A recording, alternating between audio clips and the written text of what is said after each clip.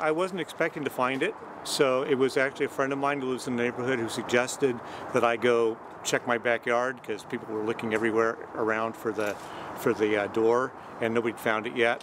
I thought, yeah, sure. It's not very likely that it's in my backyard, so I didn't do anything for a while. But I finished my preparations for the week and I thought, well, okay, I should go out and check. So it was dark by that time, and I went out and I got my flashlight and went around to the back, which is very dark because I planted a forest back there. But in the flashlight uh, beam, I could see that there was something uh, gleaming white uh, underneath the trees in the back that isn't normally there. And when I went to investigate it, it was very obviously part of a plane.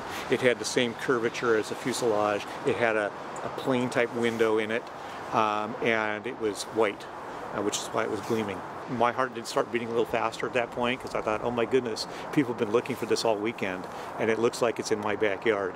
And in my uh, physics A class, we've just finished talking about impulse and momentum, so that that comes up as well. Um, the trees acted like a, like an airbag and made for a longer stop and a lower force. So I don't think it, the the, the uh, door was damaged at all by the by the, the fall.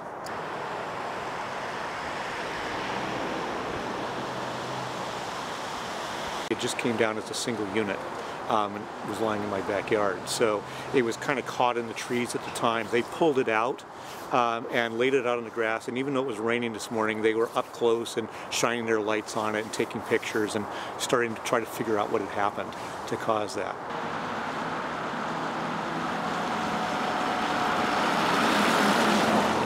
I was pretty surprised and um, also uh, amazed that that could be happening in my yard um, after there had been such a big to-do about it all weekend long.